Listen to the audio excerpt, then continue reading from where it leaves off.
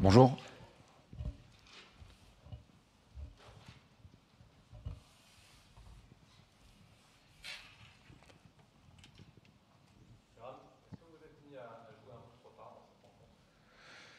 Euh, c'est votre ressenti. Nous, on a cherché à jouer dès la, première seconde. Euh, ce qui est sûr, c'est qu'on a pris le but euh, trop rapidement dans le match.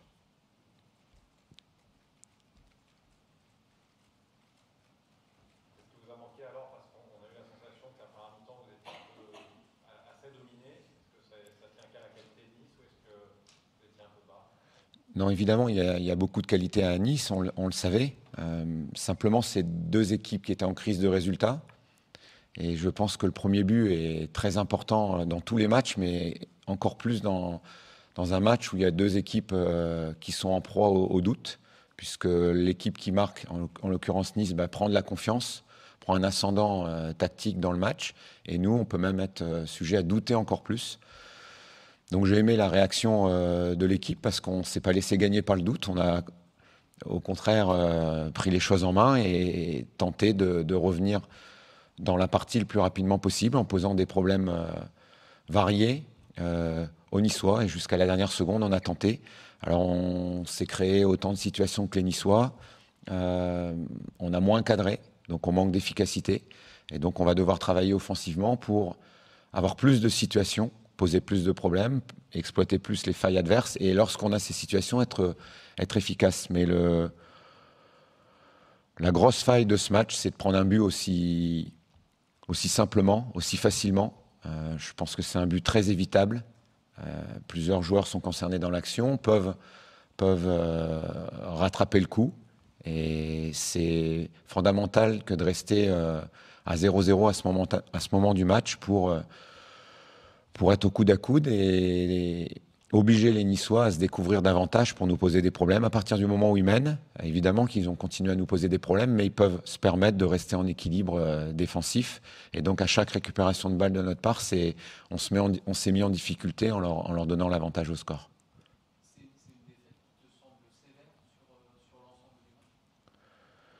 Toutes les défaites me, me semblent sévères, mais euh, j'ai aimé euh, l'implication des joueurs dans, dans, ce nouveau système. On l'avait travaillé euh, sur la fin de, fin de semaine. Euh, J'ai senti beaucoup de concentration, beaucoup d'implication, beaucoup d'énergie euh, pour, pour, bien faire. C'est un système également qui se déformait puisque puisqu'on en a vu d'autres proches les matchs précédents. Et jusqu'à la fin, on y a cru. On a cherché à modifier certaines choses pour, pour appuyer davantage. Et jusqu'à la fin, on a cherché à poser des problèmes aux Niçois. Donc quand je vous dis que les stats sont aussi proches les unes des autres euh, au niveau des deux équipes, c'est que c'est une question d'efficacité. Alors parler de sévérité, euh, c'est pas le bon mot, je pense, mais une équipe a su être efficace, a su exploiter nos, mini, euh, nos mini erreurs, nos mini mauvais choix sur, euh, sur leur action, alors que nous, on n'a pas su provoquer d'erreurs chez eux et, trouver la faille avec une grande efficacité offensive.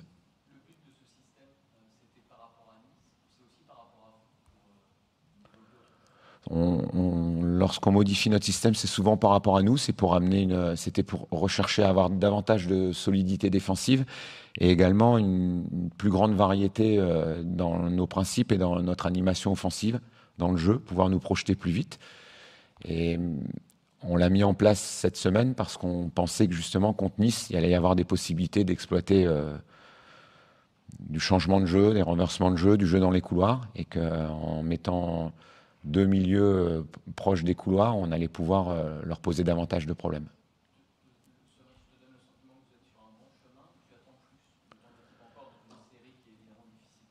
Pour moi, pour moi c'est obligatoire, impératif de corriger ces erreurs euh, défensives. On peut concéder des buts, mais il faut obliger l'équipe adverse à s'y employer. Et pour moi, là, Nice nous marque un but sans vraiment s'employer, un ballon long dans notre dos. Euh, donc, d'un côté, y a, ça leur crée pas assez de déséquilibre que de chercher à nous marquer un but. Ils arrivent à marquer un but tout en étant équilibrés, à marquer très tôt dans la partie, et donc à se mettre après en confiance et à bien rentrer dans leur match, pendant que nous, ça devient de plus en plus difficile. Donc ça, c'est la première des choses à, corriger, et c'est fondamental, ces, corrections euh, individuelle et collective défensive. Il faut retrouver cette solidité. On ne peut pas prendre un but à chaque match. Il faut retrouver de la solidité et obliger nos adversaires à se découvrir pour chercher à nous marquer des buts. Et ensuite, et retrouver de l'efficacité offensive. Donc ce, soir, enfin ce midi, pardon, j'ai trouvé que mon équipe offensivement avait plus d'allant, plus de changement de rythme, plus de variété et avait été capable de poser des problèmes au Niçois. Mais ça suffit pas. Il faut pas poser des problèmes. Il faut marquer des buts. Et donc, pardon, donc il manque juste euh, également de l'efficacité offensive. Ah bah, la, série me chagrine. Euh, je suis très inquiet lorsqu'il y a des manques. Là, il y a un, manque défensif, également offensif, mais j'ai aussi euh, des, principes, des animations qui m'intéressent. Euh, j'ai une énergie collective intéressante à, améliorer, mais il y a également beaucoup de choses intéressantes dans ce match qui ne sont pas achetées, où on va pouvoir bâtir dessus pour aller chercher le plus rapidement possible un nouveau résultat positif. Euh, comme vous, je l'ai vu sortir avec une torsion de cheville, mais il faudra attendre les examens demain pour en savoir plus.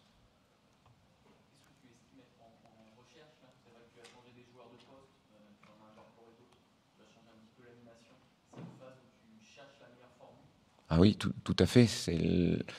Lorsqu'on est dans la difficulté, on, cherche le meilleur système, on cherche euh, les meilleures animations.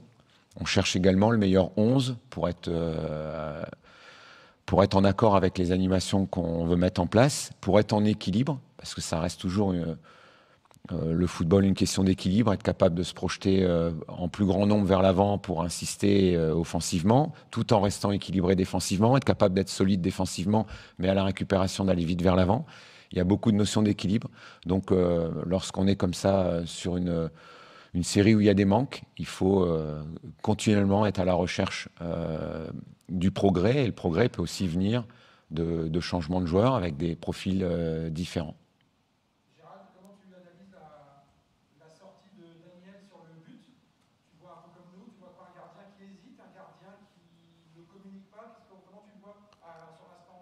différents. sur le but, je vous ai dit que c'était un but qui était pour moi évitable qu'il faut travailler pour euh, ne plus prendre de but où, l'adversaire peut marquer euh, en, se déséquilibrant le moins possible. Donc c'est à nous d'être plus fort dans, ces, phases. Et euh, je me garderai bien de toute analyse individuelle. Et elle sera faite dans notre vestiaire comme on le fait régulièrement. Merci.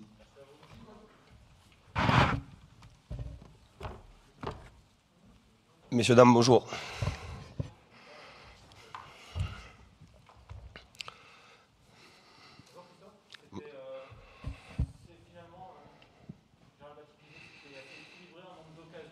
La différence, c'est que, que, vous avez cadré un petit peu plus. Euh, toi, sur, le, sur le contenu, ça te satisfait euh, ce, qui, ce, qui, a été fait aujourd'hui par tes joueurs? Oui, sur le contenu, il y, avait, il y, a eu beaucoup de choses euh, intéressantes, notamment sur la capacité à pouvoir jouer euh, plus haut et amener plus de danger dans la surface adverse. Malheureusement, ça ne s'est pas concrétisé par, euh, des buts. Il y a eu euh, des situations, quelquefois les arrêts du gardien, quelquefois de la maladresse. Mais dans sa globalité, je suis content quand même du, comportement de l'équipe et de ce que les joueurs ont pu mettre dans ce match. Concernant, les, situations que nous avons pu euh, subir. Elles ont été souvent, liées à des pertes de balles un peu stupides. Je pense notamment à la frappe sur le poteau à la 46e minute, mais euh,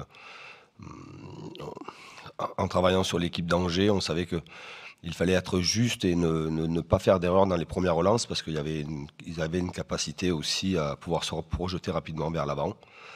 Et ces deux, trois pertes nous ont mis euh, un peu en difficulté. Après, il y a quand même il y a quand même l'histoire de traçage de lignes, les bleus et les rouges. Et ça se joue au millimètre. Le score aurait pu être, aurait pu être plus important et le match encore plus ouvert à un certain moment. Mais euh, euh, quand vous menez 1-0, vous n'êtes pas à l'abri euh, que l'adversaire réagisse et réagisse bien. Et le match se tend, se tend un peu. se tend un peu c'est un peu lié aussi aux deux dernières défaites nous avons eues en championnat. On avait une obligation de l'emporter pour, pour rester compétitif. Et, et j'étais convaincu que pour l'emporter, il fallait poser notre jeu et je trouve qu'on l'a assez bien posé.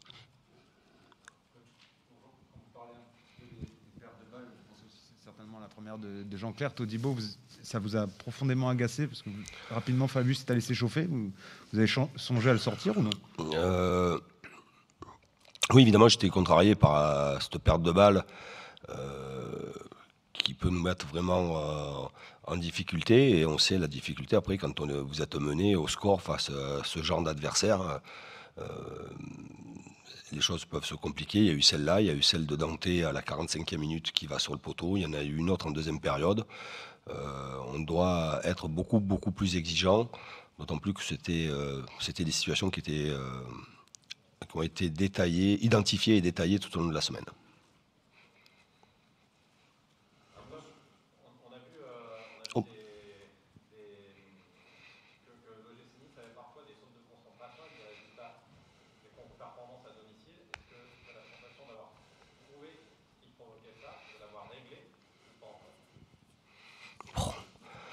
Ça serait très prétentieux et trop facile de, croire que les choses, on les règle sur, euh, sur un match. Euh, il y a eu des fois des sautes de concentration, mais il y a aussi des fois un manque d'investissement qui ont fait que, nos matchs à domicile, ce qui fait que notre parcours à domicile n'est pas un, top parcours, euh, mais c'est aussi l'apprentissage du, haut niveau.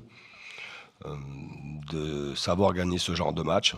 Il y a eu euh, évidemment le, dernier, match à domicile face à Clermont où nous n'étions pas du tout dans la partie, sûrement projeté euh, déjà au quart de finale qui se jouait trois jours après. voilà, si les joueurs veulent accomplir une belle saison et une très belle saison, ils doivent maintenir un maximum d'exigence, un gros investissement au quotidien à l'entraînement que l'on peut retrouver aussi le, week-end en match. Et euh, j'ai été satisfait, euh, même si la semaine n'avait pas très bien démarré sur la première séance. Ensuite, euh, il y a eu beaucoup d'investissement et beaucoup de, beaucoup de concentration dans les entraînements. Et c'est ce que j'ai pu ressentir quand même cet après-midi. Un mot sur le buteur, Justin Kluivert, c'est l'homme fort de ce, un des hommes forts de ce début d'année 2022. Il on a l'impression qu'il continue de monter en puissance semaine après, euh, après semaine. Il, il tire les coups de pied arrêtés. Aujourd'hui, il est indispensable euh, à cette équipe. Personne n'est indispensable dans une équipe, mais évidemment, quand vous avez quelqu'un en forme, il faut le mettre sur le terrain. Euh, pourquoi il est en forme? Parce que déjà, il, a pris le rythme, il a pris la mesure de la charge de travail. et il y a aussi, comme il avait été longtemps absent, il y avait un manque de repères pour ses partenaires, de savoir euh, quels étaient ses points forts. Et à force de s'entraîner, et à force, et à force d'enchaîner les matchs, euh, évidemment que les joueurs ont beaucoup plus de repères euh, avec lui. Et quand il est arrivé, évidemment qu'il avait des problèmes physiques, il avait aussi des problèmes de rigueur sur un plan tactique. Euh, Choujubois, le problème physique, ça va. Et sur, un plan tactique, il a aussi beaucoup de rigueur dans ce que je veux voir de, l'équipe quand elle n'a pas le ballon. Et après, il nous apporte euh, évidemment euh, de la profondeur, de la percussion, de la qualité technique. Et euh, comme depuis quelques semaines, il travaille énormément aussi les coups de pied arrêtés, ça s'est joué à quelques millimètres cet après-midi pour qu'il soit un double passeur décisif plus buteur.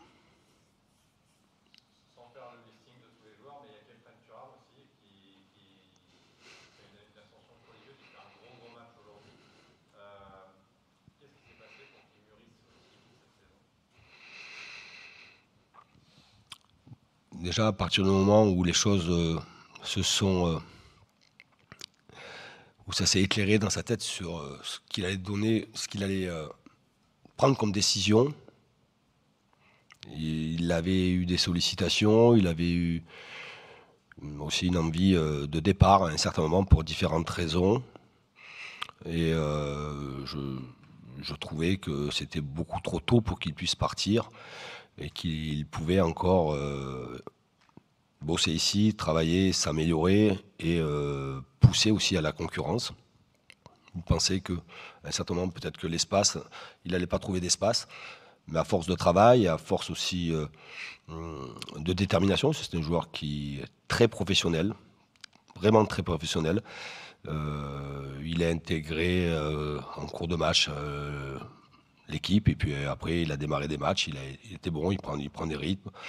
Euh, il est euh, un milieu de terrain moderne, euh, capable, déjà il a de la taille, et capable aussi de casser les lignes euh, balle au pied. C'est aussi un milieu de terrain qui, euh, qui aime bien se projeter et qui est attiré par le but. Ça a été malheureux euh, ce soir euh, sur le coup de pied arrêté, mais euh, voilà. Euh, il est bien, il, me semble qu'il est bien dans, ce groupe, il a toujours le sourire. Quand je peux échanger avec son papa, je le fais avec plaisir. Et je sais que son papa est très exigeant et il veille au grain concernant euh, son comportement, son investissement. Christophe, pardon. On ne s'est pas vu depuis 40 ans, je crois, alors j'en profite. Ok, Ouais. salut. Euh, 40 ans hi- hi- mais je lis, je lis Nice matin quand même. Ah. Et hier, tu disais que l'OGCN n'est pas encore une grande équipe, n'est pas encore un grand club, il faut de la constance, c'est vrai. Euh, comment comparer le LOSC que, que tu as conduit au titre de champion de France euh, il y a un an avec le Nice aujourd'hui, sur le plan effectif et sur le plan du club? Nice est un club historique. Ni- euh, Nice a écrit de belles, euh, de belles lignes de l'histoire du football français. Après, il il y a ce Jim Ratcliffe qui est venu euh, ici avec une grande ambition et son groupe Ineos avec une grande ambition. Mais ce n'est pas à coup de millions d'euros que vous transformez tout.